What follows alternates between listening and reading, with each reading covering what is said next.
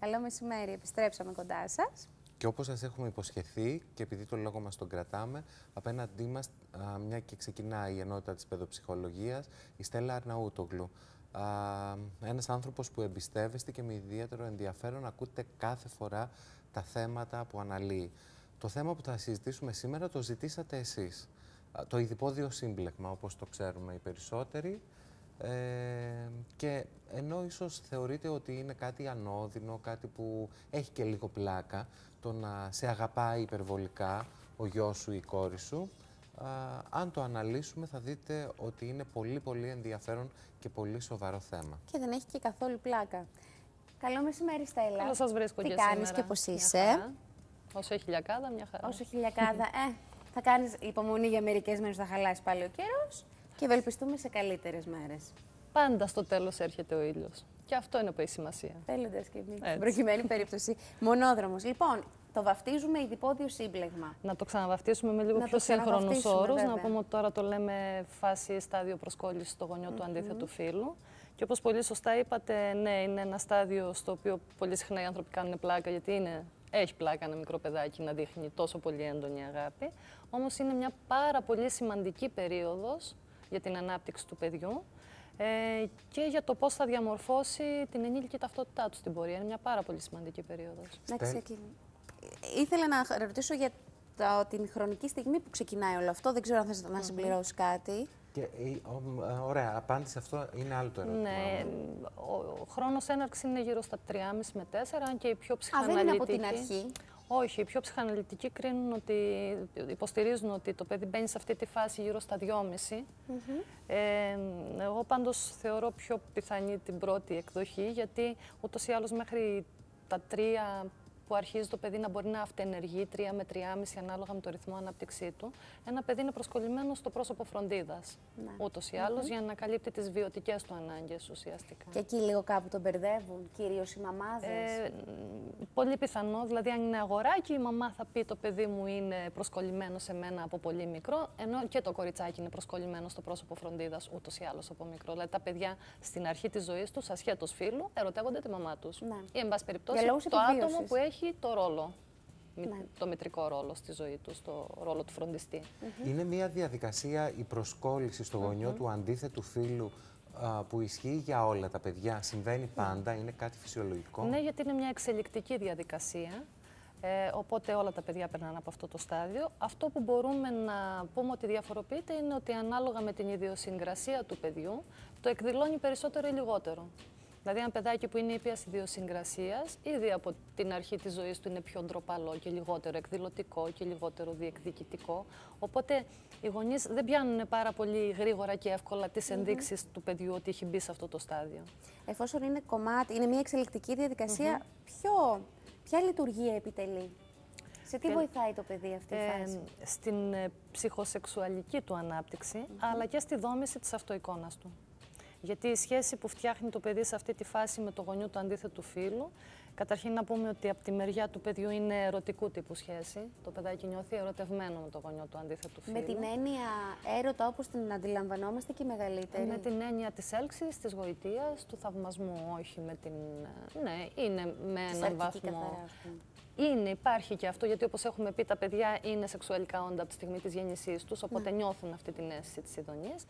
Αλλά περισσότερο έχει να κάνει με το είμαι θα... ε, ερωτευμένος από την έννοια του θαυμάζω, θεωρώ το γονιό μου τον πιο όμορφο, τον πιο δυνατό, τον πιο ικανό άνθρωπο του κόσμου.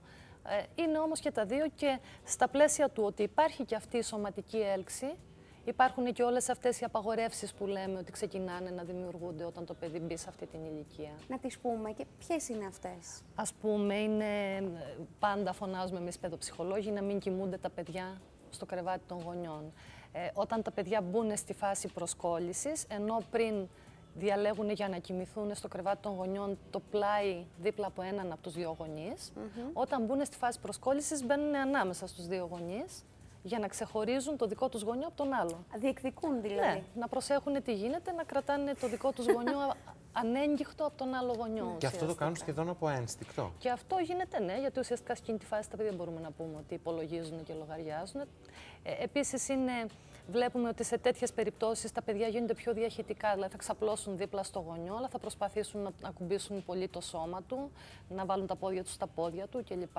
Ε, Αυτές τώρα οι επαφές κάνουν το παιδί να νιώθει δύσκολα. Γι' αυτό δεν τις θέλουμε. Δεν είναι ότι προσπαθούμε να προστατέψουμε το γονιό ή οτιδήποτε. Το παιδί νιώθει δύσκολα γιατί νιώθει πολύ μεγαλύτερη έλξη, Ναι. αλλά μέσα του σιγά σιγά έχει αρχίσει και αντιλαμβάνεται ότι αυτό δεν είναι κάτι αναμενόμενο. Ξέρει ότι διεκδικεί το γονιό του από τον άλλο γονιό. Νιώθει ενοχές προς τον Ενοχές. απέναντι γονιό όταν έχει αυτά τα έντονα συναισθήματα για το γονιό προσκόλλησης. Και όλα αυτά φαντάζομαι δεν τα έχει καθόλου ξεκάθαρα μέσα το Όχι παιδί βέβαια. του. Για το Όλο παιδί αυτό όλα το- αυτά είναι είναι ένα μια θύελλα. αχταρμά από συναισθήματα που καν στα ίδια τα συναισθήματα δεν μπορεί να δώσει ονόματα ναι. ακόμα το παιδί. Και το τρισχαριτωμένο μικρό παιδάκι μας μπορεί να είναι μεν μέσα του μπερδεμένο όταν κάνει αυτές τις κινήσεις, α, αλλά έχει όλη αυτή τη γλύκα και όλο το χαριτωμένο υφάκι στο μουτράκι του, που για το γονιό και για το, για το, για το γονιό τους- παύλα άνθρωπο, Ναι. που αυ- ε, του τροφοδοτεί λίγο τον εγωισμό του. Βέβαια. Σε όλους μας αρέσει, είτε ένα παιδάκι, είτε ε, ένας μεγάλος, να μ- είμαστε το αντικείμενο του πόθου του. Σίγουρα μας αρέσει να εισπράττουμε θαυμασμό και εκτίμηση, όμως αυτό γίνεται περισσότερο αντιληπτό με, αν- σαν ανάγκη και με αγωνία και με χαρά από τους γονείς στα ζευγάρια που η σχέση δεν είναι καλή, που είναι ανταγωνιστική. Μεταξύ του ίδιου του Ζευγάρια που ζευγαριού. έχουν ναι, καλή ισορροπία μεταξύ τους. Οκ, καταλαβαίνουν την είσοδο του παιδιού σε αυτό το στάδιο. Σαφώς διασκεδάζουν με κάποια πράγματα, γιατί όλοι τα βρίσκουμε κάπως διασκεδαστικά όλα αυτά τα πράγματα. Αλλά δεν μπαίνουν στη διαδικασία να ανησυχήσουν ή να ε, μ, ζηλέψουν το παιδί που προσκολλιέται στον άλλο γονιό ή ο γονιός της προσκόλληση να νιώσει ιδιαίτερα περήφανος γιατί το παιδί τον αγαπάει παραπάνω. Κυρίως γιατί γνωρίζουν ότι αυτό είναι ένα εξελικτικό στάδιο, ούτως ή άλλως, και δεν νιώθει την ανάγκη ο ένας γονιός, αν η σχέση είναι ισορροπημένη, να αποδείξει στον άλλο ότι έχει καλύτερη σχέση από το, με το παιδί του. Όπως επίσης και όταν μια σχέση είναι ισορροπημένη, ο γονιός δεν νιώθει την ανάγκη να εισπράξει από το παιδί τρυφερότητα, συντροφικότητα και την εγκύτητα που κανονικά έχει από τον σύντροφό του. Άρα τι κάνουμε όταν είμαστε σε, ένα ισορροπημένο, σε μια ισορροπημένη σχέση με τον σύντροφό μας και το παιδί έχει αρχίσει να εκδηλώνει αυτές του τις τάσεις και τις διαθέσεις στον γονιό του αντίθετου φίλου, αγόρι, κορίτσι, αντιστοιχεία, ε, μ, αγόρι είπα πρώτο, μαμά και μπαμπάς, πώς το χειριζόμαστε; ε, διακριτικά, αλλά με σταθερότητα. Δηλαδή, χρειάζεται να υπάρχει ένα σαφές ξεκάθαρο όριο μέχρι που επιτρέπεται πλέον η σωματική επαφή, γιατί όταν το παιδί φτάσει 3,5-4 χρονών, είναι σημαντικό να πεις ότι ναι, ξέρω ότι σου αρέσει να με χαϊδεύεις ή να είμαστε μαζί αγκαλιά γυμνής στην πανιέρα, αλλά τώρα έχεις μεγαλώσει. Αυτά είναι πράγματα που κάνουν τα μικρότερα παιδάκια και τα έκανες κι εσύ. Τώρα είσαι πιο μεγάλο παιδί και ε, αυτές τις κινήσεις πια δεν τις κάνουμε. Όταν τώρα μεγαλώσει και ακόμα λίγο το παιδάκι, οπότε καταλαβαίνει περισσότερα, χρειάζεται να αναφερόμαστε περισσότερο σε αυτή τη διαδικασία, εξηγώντας ότι ε, ξέρω ότι με αγαπάς πολύ και με βρίσκεις πάρα πολύ όμορφο ή όμορφη, ανάλογα ποιος γονιός είμαστε. Ε, και όμως, αργότερα όταν μεγαλώσεις, θα βρεις εσύ μια σύντροφο ή έναν σύντροφο που θα είναι το ίδιο όμορφος ή όμορφη με μένα και θα τον αγαπάς ή αγα... την αγαπάς το ίδιο πολύ και τότε θα μπορείς μαζί να κάθεστε αγκαλιά και να χαϊδεύετε τα σώματά σας. Αλλά- Αλλά, αυτό όμως δεν το κάνουμε σε ένα παιδάκι 3,5 χρονών και απλά εξηγούμε ότι τώρα έχεις μεγαλώσει και δεν έχουμε τόσο στενές επαφές. Σε πιο μεγάλα παιδιά δίνουμε πιο αναλυτικές πληροφορίες. Για να μην παρεξηγούμαστε όμως, αυτό δεν σημαίνει ότι πάβουμε να είμαστε τρυφεροί με το παιδί μας, πάβουμε να του δίνουμε φυλάκια, να του λέμε όμορφα λογάκια, να το ενθαρρύνουμε Να το και χαϊδεύουμε. Και είναι και πολύ σημαντικό που το λες αυτό, Στέλιο, γιατί δυστυχώς έχω δει γονείς που στην προσπάθειά τους να αποκόψουν το παιδί από αυτή τη διαδικασία λειτουργούν πάρα πολύ κάθετα και τους στερούν κάθε είδους τρυφερότητας και μετά φτάνουμε σε ένα τελείως αντίθετο αποτέλεσμα. Σαφώς το ζητούμενο είναι να βάλουμε ένα όριο στο μέχρι που και με τι τρόπους επιτρέπεται να υπάρχει επαφή με τα σώματα. Ας πούμε τα παιδάκια σε αυτή τη φάση επιδιώκουν πάρα πολύ να φυλάνε στο στόμα το γονιό προσκόλλησης. Αυτό δεν το επιτρέπουμε, αλλά δεν πάβουμε να φυλάμε τα παιδιά μας. Απλά δεν τα φυλάμε στο στόμα. Δεν πάβουμε να αγκαλιάζουμε τα παιδιά μας, απλά προτιμάμε να είμαστε ντυμένοι όλοι όταν τα αγκαλιάζουμε. Δεν ε, τους απαγορεύουμε να μας αγγίζουν, τους απαγορεύουμε να μας αγγίζουν στο στήθος, στα γεννητικά όργανα. Ε, Όμως το να θελήσει ένα παιδάκι σε αυτές τις ηλικίες είναι ακόμα μικρά παιδάκια. Έχουν ανάγκη από πολύ αγκαλιά, από φιλιά, από τρυφερότητα, από διαχειτικότητα για να νιώθουν συναισθηματικά καλυμμένα. Είναι λοιπόν δύο διαφορετικά πράγματα αυτά. Μην θεωρήσουμε ότι όταν έρθει η ώρα να απεξαρτήσουμε το παιδί μας, πάβουμε να είμαστε τρυφεροί και δοτικοί συναισθηματικά. Την ίδια στιγμή η σχέση με τον σύντροφό μας, ας υποθέσουμε ότι είμαστε σε μία μέση κατάσταση, δηλαδή το παιδί μας περνάει αυτό το εξελικτικό στάδιο, το χειριζόμαστε αρκετά καλά. Ε, αποφεύγουμε και τις διαχειτικότητες με το σύντροφο για να μην πικάρουμε το παιδί. Αποφεύγουμε τις υπερβολικές διαχειτικότητες, αλλά όπως έχουμε Ούτως πει και άλλες φορές, ε. είναι σημαντικό το παιδί ζώντας μέσα στην οικογένεια και το ζευγάρι των γονιών να παίρνει πληροφορίες για το τι είναι ζευγάρι, mm. κοιτώντας τους γονείς. Οπότε Είμαστε τρυφεροί ο ένας με τον άλλο. Θα δώσουμε ένα φιλί όταν έρθει, όταν φύγει ένας από τους δύο από το σπίτι. Αλλά δεν θα το παρακάνουμε. Ναι. Ας καθίσουμε αγκαλιά, ας δώσουμε ένα γρήγορο φιλί, ας μην το παρακάνουμε. Αυτό που συμβαίνει όσο διακριτικοί και να είμαστε είναι ότι το παιδί κάποια στιγμή θα έρθει ανάμεσά μας, θα προσπαθήσει να μας χωρίσει και θα προσπαθήσει να πάρει εκείνο τις αγκαλιές και τα φιλιά. Σε αυτές τις περιπτώσεις αφήνουμε το παιδί ανάμεσά μας, το αγκαλιάζουμε, το... είμαστε φιλικοί μαζί του και μετά κάποια στιγμή διαλύουμε την ομάδα συνολικά. Ναι.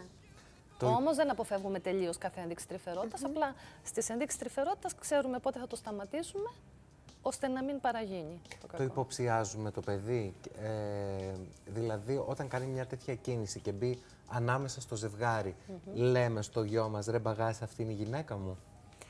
Λέμε στο παιδί μας ε, με όσο πιο απλό τρόπο μπορεί να το καταλάβει. Ε, είναι σημαντικό ο γονιός του ίδιου φίλου να πάρει επίσης θέση. Γιατί ο γονιός του αντίθετου φίλου θα πει στο παιδί ότι ξέρεις όταν μεγαλώσεις θα έχεις εσύ έναν σύντροφο και θα μπορείς να τον φυλάς στο στόμα γιατί εμένα δεν μπορείς. Ε, και εκεί ο ίδιος γονιός του αντίθετου φίλου, ο γονιός προσκόλλησης μπορεί να πει ότι εμένα στο στόμα με φυλάει ο μπαμπάς σου που είναι άντρας μου.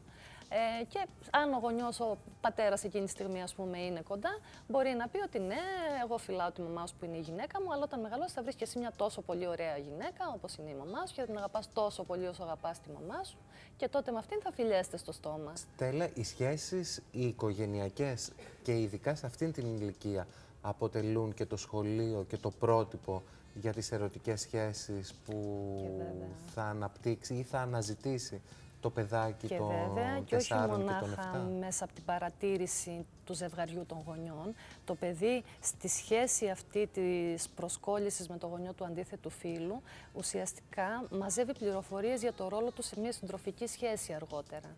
Οπότε, ανάλογα με τον τρόπο που του φέρεται ο γονιός προσκόλλησης, το παιδί παίρνει πληροφορίες για το αν είναι ένας καλός και άξιος σύντροφος ο ίδιος και για το ποιο είναι το ιδανικό άτομο που θα μπορεί να είναι σύντροφος αργότερα. Διαλέγουμε το είδος του ανθρώπου που μοιάζει με τον τρόπο που μας φερόταν ο γονιός mm μας στη φάση της προσκόλλησης. Γι' αυτό στην Ελλάδα, ας πούμε, που έχουμε μεγάλο θέμα με τους πατεράδες να είναι πιο αποστασιοποιημένοι. Άρα και σε αυτή τη φάση της ζωής των κοριτσιών, ε, παλιότερα τουλάχιστον απήχανε από το να είναι τρυφεροί με τα παιδιά, γιατί δεν ήταν κομμάτι της κουλτούρας, όχι ναι. γιατί αδιαφορούσαν οι άνθρωποι. Έχουμε τώρα πάρα πολλές γυναίκες που βλέπουμε ότι κυνηγάνε απρόσιτους άντρες. Mm -hmm. αδιάφορους άντρες που τις ιντριγκάρουν ακριβώς γιατί αυτή η αδιαφορία είναι η στάση του γονιού όταν εκείνες μεγαλώνανε είναι το κάρμα. Ναι. Συχνά λέω στους γονείς ότι όταν το παιδί σου είναι σε φάση προσκόλλησης θα του φέρεσαι όπως θέλεις να του φέρεται αργότερα ο γαμπρός ή η νύφη σου. Πολύ Γιατί σημαντικό ανάλογα με το πώς του φέρεσαι εσύ τώρα θα διαλέξει και το σύντροφό του αργότερα. Το λεξιλόγιο. ναι, είναι ε. πολύ πολύ σημαντικό αυτό. Mm Όντως. Και αυτό που λένε τα παιδιά, όταν μεγαλώσω θέλω να παντρευτώ τον μπαμπά μου, τελικά δεν απέχει το θέλω με αυτό που κάνω. Μα Έχεις είναι. μάθει και να ζητάς ένα τέτοιο σύντροφο. Μα τα τραγούδια που το λένε αυτό δεν το λένε τυχαία. Κατά βάση υποσυνείδητα διαλέγουμε ανθρώπους που είναι μέσα στο γνωστικό μας χάρτη. Γιατί που είναι δηλαδή κομμάτι τη εμπειρίας μας ουσιαστικά. Ε, τώρα γίνεται να μην το ξαναπώ, μου θυμίζεις τη μάνα μου. Κυριαζής. Και γι' αυτό σε αγαπάω. για τον καλλιτέχνη. Στέλνε το λεξιλόγιο που χρησιμοποιούμε δηλαδή ε, στα παιδιά μας. Mm Α πούμε, λέω εγώ στο γιο μου, αγάπη μου, έρωτά μου, θησαυρέ μου, μπορεί να του ενισχύσει αύριο μεθαύριο που θα μεγαλώσει και θα αρχίσει να αναπτύσσει αυτό, το, να περάσει αυτό το εξελικτικό στάδιο, να του ενισχύσει τον έρωτα. Ε, να δεν είναι, δεν είναι κακό να λέμε καλά πράγματα σε ένα παιδί. Α μην το πούμε ερωτά μου. Ναι. Ερωτευόμαστε το σύντροφό μας, δεν mm ερωτευόμαστε το παιδί μας. Αλλά να του λέμε ότι είναι ο θησαυρός μας, ότι είναι η αγάπη μας, ότι είναι το πιο ωραίο πλασματάκι που κρατάμε στα χέρια μας κλπ. Όχι, αυτά είναι πολύ όμορφα. Mm. Αλλά το να πεις σε ένα παιδί ότι είναι ο έρωτάς σου, ουσιαστικά του δίνεις το ελεύθερο, το πράσινο φως να χτίσει μια ερωτική σχέση μαζί σου που δεν τη θέλουμε. Επίσης, ε, περιπτώσεις πολύ χαρακτηριστικές που οι μαμάδες που ζουν σε αυτή τη φάση έχουν γιους που είναι και λίγο ποιητές και λένε διάφορα ωραία στη μαμά τους. Τρελαίνονται αυτές όσο και αν θεωρούν ότι δεν είναι σωστό και το εκθιάζουν στη συνέχεια. Πολλές φορές μπροστά το παιδί. Τι μου είπε πάλι, ας πούμε, το μαϊμούνι; Ότι είσαι η αγάπη μου, είσαι το αστέρι μου, είσαι... Και το Μαμά παιδί μου, η πιο όμορφη του αντιλαμβάνεται, ναι, κόσμου το και παιδί τέτοια. αντιλαμβάνεται ότι η μαμά ενθουσιάζεται με Βέβαια. όλα αυτά. Και αυτό δεν βοηθάει προφανώς. Ενισχύουμε τη συμπεριφορά αυτή του παιδιού με το να το συζητάμε και να το θαυμάζουμε. Σαφώς όταν ένα παιδί μας πει όμορφα πράγματα θα τα δεχτούμε. Ναι. Ευχάριστα. Απλά δεν χρειάζεται να κάνουμε ένα πολύ τεράστιο θέμα. Να πάμε Αλλά σε... α, όταν έρθει ένα ολοκλήρωσε. παιδάκι να μας πει ότι σε αγαπάω και είσαι η πιο όμορφη μαμά του κόσμου Θα ή βάλουμε είσαι τα ο πιο κλάματα. δυνατός μπαμπάς του κόσμου, είναι ωραίο να τα αγκαλιάσουμε, να του δώσουμε ένα φιλί και να του πούμε και εγώ σε αγαπάω πολύ. Όταν χάνεις λίγο την ψυχραιμία σου, αν ανοίξουμε μια παρένθεση, έχεις το παιδί σου και σου εκδηλώνεται συναισθηματικά και συγκινείσαι. Αυτό δίνεις στο παιδί πάτημα για άλλες συμπεριφορές; Ή λέει τι χαζή που είναι η μάνα μου. Ε, είναι καλό να θυμόμαστε ότι το γέλιο είναι γέλιο και δείχνει χαρά και ικανοποίηση και το κλάμα δείχνει θλίψη και πόνο. Υπάρχει ένα ωραίο βιβλίο που καλό είναι να διαβάσουν οι γονείς. Για είναι πες μας το. η κολοτούμπα που μπέρδευε τα γέλια με τα κλάματα. Ναι. Όταν Είναι για νιώθουμε γονείς, είναι χαρά είναι παιδιά. καλό να χαμογελάμε. Είναι ένα παραμύθι για μεγάλα παιδιά. όταν, όταν χαιρόμαστε, καλό να χαμογελάμε. Είναι κρίμα να μάθουμε σε ένα παιδί ότι κλαίμε όταν νιώθουμε χαρά. ναι. Γιατί κλαίμε σημαίνει αυτόματα γεμίζουμε το κεφάλι μας τοξίνες. Γιατί νιώθοντας χαρά να γεμίζουμε το κεφάλι μας τοξίνες. Θέλω να Είναι πάμε. σαν να- Και, αυ- και αυτό είναι κάτι που το παιδί θα είναι το σαν μάθει να, επειδή κρυώνουμε, να μεγαλώνοντας. πάμε να βάλουμε κοντομάνικο. Το ίδιο είναι όταν κλαίμε από χαρά. Είναι σαν να κρυώνεις και να πας να βάλεις κοντομάνικο. Αντίφαση. Κάπου τον μπερδεύεις το θέμα. Πάμε σε λίγο πιο μπερδεμένες καταστάσεις, όπου ξεφεύγουμε αρκετά από τα φυσιολογικά ή τα λίγο-λίγο τραβηγμένα και πάμε σε περιπτώσεις όπου είναι πια αρρωστημένη η σχέση μάνας γιου, πατέρα κόρης. Μμμ.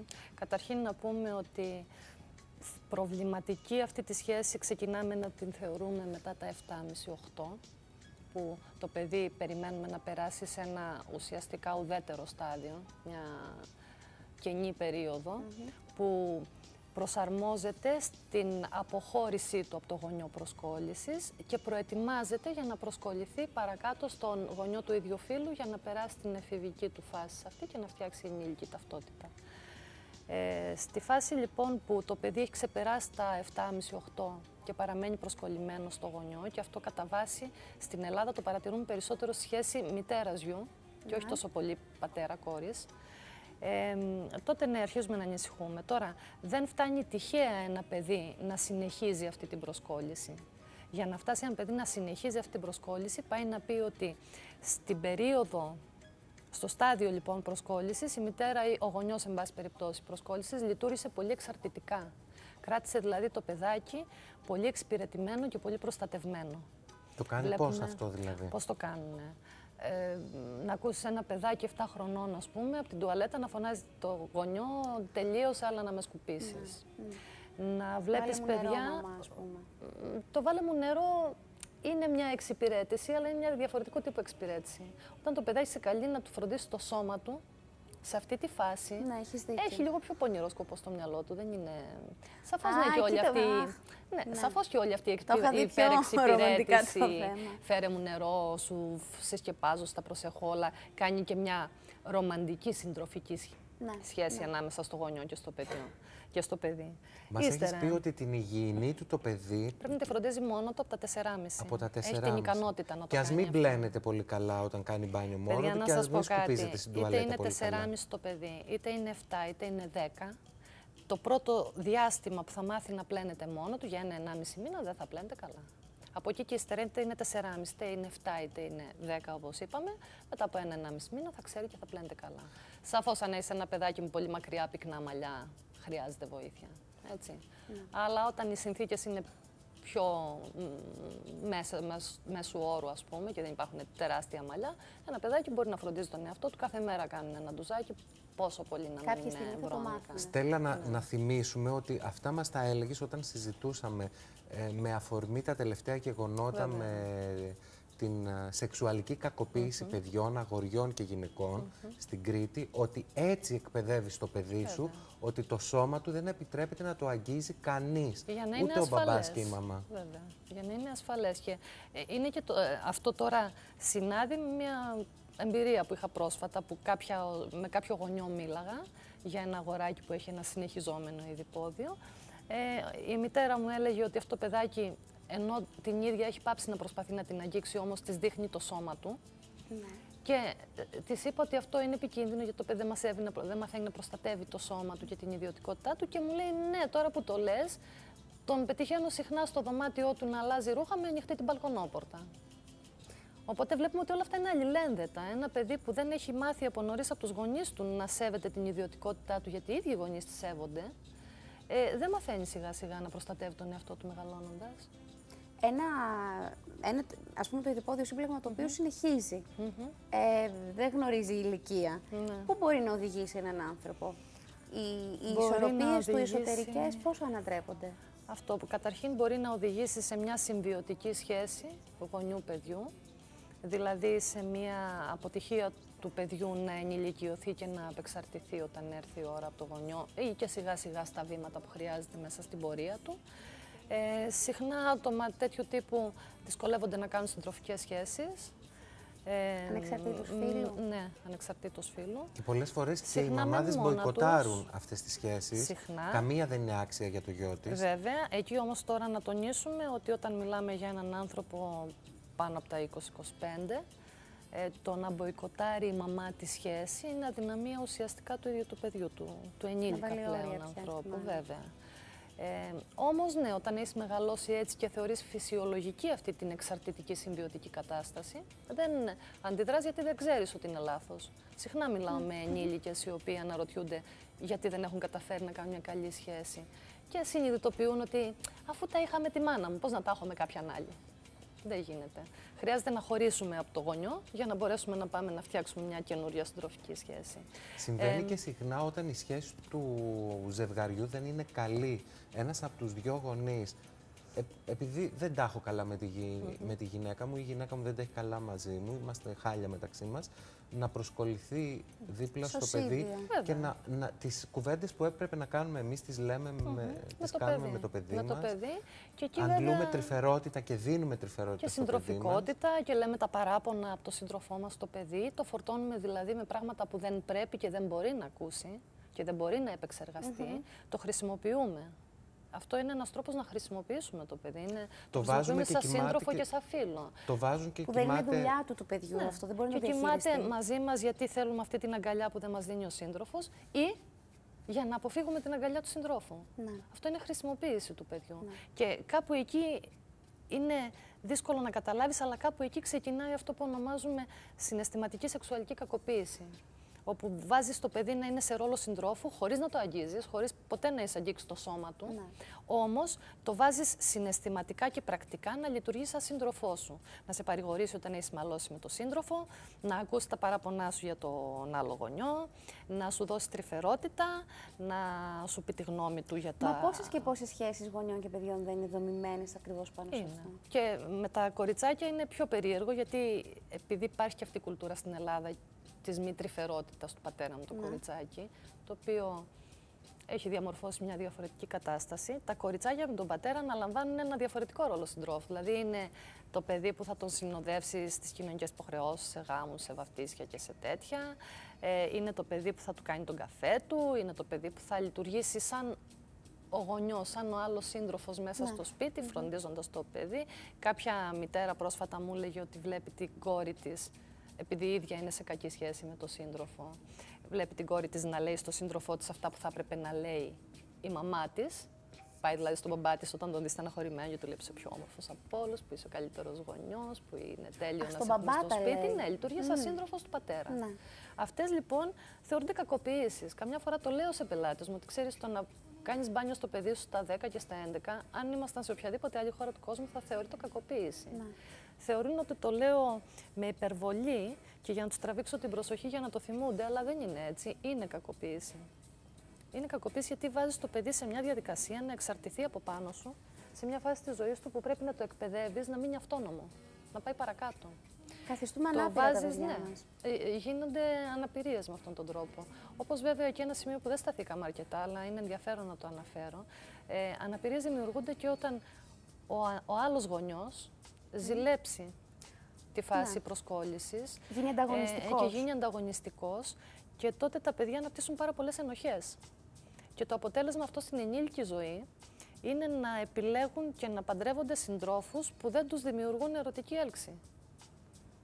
Για να αποφύγουν όλο αυτό το, το, το ενοχικό που δημιούργησαν μέσα τους. Ε, μεγάλη αναπηρία επίσης, να είσαι με Πολύ ένα μεγάλη. σύντροφο Πώς με τον πρέπει οποίο να δεν έχεις σεξουαλική αντιδράσεις, ζωή. λοιπόν, αν ο μπαμπάς όταν βλέπει το γιο του να είναι τρυφερός με τη μαμά του; χωρίς ανταγωνισμό. Είναι καλό εφόσον η μητέρα είναι παρούσα ή εν πάση περιπτώσει ο γονιός προσκόλληση είναι παρόν και μιλάει ο ίδιος το παιδί να αφήσει αυτόν τον γονιό να το χειριστεί. Ε, είναι καλό ό,τι και αν λέμε στο παιδί σε αυτές τις φάσεις και τα όρια που βάζουμε να μην τα κάνουμε με θυμό ή με απότομο τρόπο για να μην νομίζει το παιδί ότι είμαστε θυμωμένοι μαζί του.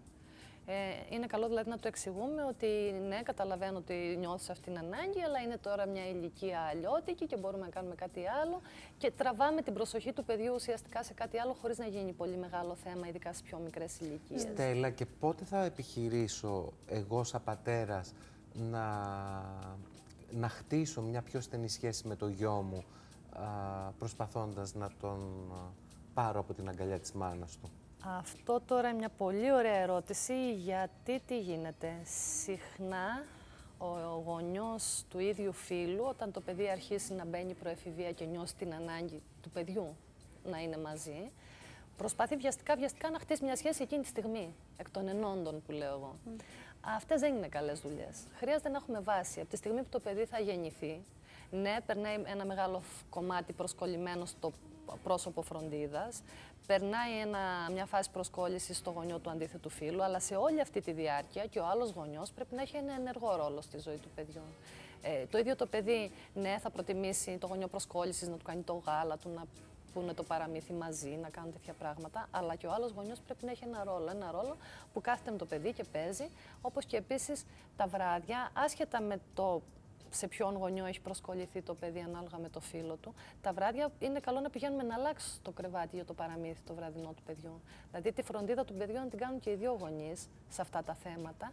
Γιατί και το παιδί έτσι νιώθει ότι είναι αποδεκτό και από το γονιό του ίδιου φίλου και ότι δεν είναι θυμωμένος μαζί του γιατί αγαπάει τη μαμά τόσο πολύ ή τον μπαμπά τόσο πολύ. Και δεν φεύγει και από την Ναι. ομάδα. ο Χτίζουμε δεύτερος λοιπόν τη γονιός. σχέση από την αρχή της ζωής για να έχουμε διαθέσιμη βάση να προσκοληθεί το παιδί μας στο γονιό του ίδιου φίλου στην εφηβεία. Γιατί να πούμε και το άλλο. Από την φάση προσκόλλησης το γονιό του αντίθετου φίλου, το παιδί δεν φεύγει αν δεν ξέρει ότι απέναντι είναι ο άλλος γονιός και μπορεί να το πιάσει το χέρι. Τα παιδιά ουσιαστικά είναι με το ένα χέρι στο γονιό προσκόλλησης και πριν το αφήσουν βεβαιώνονται ότι το άλλο χέρι είναι εκεί και μπορούν να το κρατάνε. Μετά αφήνουν. Άρα πρέπει να έχει Δεν ήδη μένουν ποτέ δουλευτεί στον η αέρα. σχέση. Οπότε, αν Νιώθει αυτή η σχέση εμπιστοσύνη. δεν υπάρχει με τον γονιό του ίδιου φίλου, βλέπουμε να συνεχίζεται αυτή η προσκόλληση. Συχνά βλέπουμε να χρεώνεται αυτή τη συνεχιζόμενη εξάρτηση ο γονιός προσκόλλησης, ενώ πολύ συχνά ο γονιός προσκόλλησης λειτουργεί καλά, αλλά ο άλλος γονιός δεν είναι διαθέσιμος ώστε να τολμήσει το παιδάκι να πάει προς τα εκεί. Ναι. Οπότε είναι σημαντικό να βλέπουμε και τι συμβαίνει, γιατί δεν είναι απαραίτητο ένα παιδί που συνεχίζει την προσκόλλησή του ότι αυτή την έχει δημιουργήσει ο γονιός προσκόλλησης. Μπορεί να την έχει δημιουργήσει η απουσία του άλλου γονιού. Γιατί η φύση δεν αγαπά τα κενά και ε, τρέχει να τα καλύψει με όποιο τρόπο Έτσι. μπορεί. Έχω ένα τελευταίο ερώτημα. Τα παιδιά είναι παμπώνυρα. Όσα όρια κι αν τους θέτεις, όσο καθαρά κι αν εξηγείς ότι αυτό που κάνεις αγοράκι μου ή κοριτσάκι μου, να με φυλάς στο στόμα κτλ. α, φιλ- δεν είναι σωστό, θα προσπαθήσεις να το επαναλάβεις, θα τα σπάσεις τα όρια. Α, Αυτή είναι η δουλειά των παιδιών και γι' αυτό Και η μας δουλειά του έχουν γονιού εμάς. ποια είναι; Για να τους θυμίζουμε κάθε φορά τα όρια. Το λέμε Ε, κάθε φορά. Κάθε φορά Ήρεμα. και ναι, και αυτό πολύ ωραίες παρατηρήσεις κάνεις σήμερα. Είναι σημαντικό να το τονίσουμε αυτό, όχι μονάχα σε αυτό το θέμα. Γενικά στο κομμάτι της οριοθέτησης, συχνά οι γονείς μου λένε Μα το είπαμε, το τακτοποιήσαμε, το εξηγήσαμε, γιατί δεν το τηρεί. Είναι σημαντικό να θυμόμαστε ότι μπορεί τα παιδιά να έχουν γνώση του ορίου, αλλά δεν έχουν την κατάλληλη δομή προσωπικότητας ακόμα που θα τους βοηθήσει να έχουν αυτοέλεγχο και να τηρήσουν το όριο από μόνα τους. Είναι δικιά μας δουλειά Μέχρι τα 18, όσες φορές κρίνουμε και βλέπουμε ότι το παιδί χρειάζεται να επαναλάβουμε το όριό του, να το κάνουμε. Να το υπενθυμίζουμε. Ναι. Κάθε και να μην μέρα. θεωρούμε ότι δεν κάνουμε σωστή δουλειά γιατί από μόνα τους τα παιδιά δεν τα κάνουν. Αυτό είναι το φυσιολογικό. Φυσιολογικό είναι εμείς να τους θυμίζουμε να τα κάνουν, γι' αυτό ζουν μαζί μας. Όπως λέω συχνά στου γονείς, αν μπορούσαν τα παιδιά να έχουν τον αυτοέλεγχο και την οργάνωση που χρειάζονται, θα έπαιρναν μια βαλίτσα και θα έφευγαν να μένουν σε, ένα, σε μια άλλη Σπίτι γειτονιά. Σε ένα άλλο μόνα σπίτι. τους. Ναι. Ζουν μαζί μας, δεν ζουν για μας. Όχι, ζουν μαζί μας γιατί μας χρειάζονται μέχρι να μπορέσουν να αυτονομηθούν και η δουλειά μας είναι να τα κάνουμε αυτόνομα. και Να ανεξάρτητα. ανοίξουν τα φτεράκια Έτσι. τους. Και μετά, υπομονή μανάδες. Στέλλα, ευχαριστούμε πάρα πολύ. εγώ σας Να είσαι ευχαριστώ. καλά, να έχετε ένα καλό απόγευμα. Διαφημίσεις. Επιστρέφουμε σε πολύ λίγα λεπτά και πάλι κοντά σας.